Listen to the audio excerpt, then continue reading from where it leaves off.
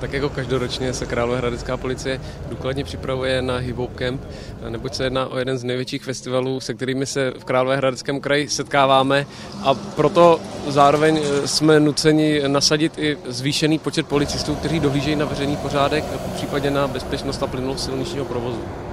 Celkový dohled bude probíhat tím způsobem, že část policistů se bude věnovat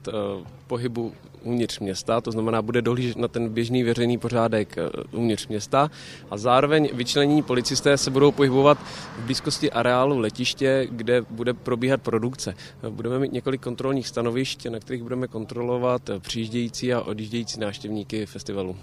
V blízkosti areálu letiště bude poměrně zásadně omezen provoz, eh, to tím způsobem, že bude snížena maximální povolená rychlost, eh, bude zde zákaz zastavení na vybraných místech a dokonce z jednoho směru, a to ze směru z ulice Jana Černého, tak vůbec nebude možné k letišti přijet, neboť zde bude zákaz vjezdu mimo vozidla integrovaného záchranného systému a veřejné dopravy.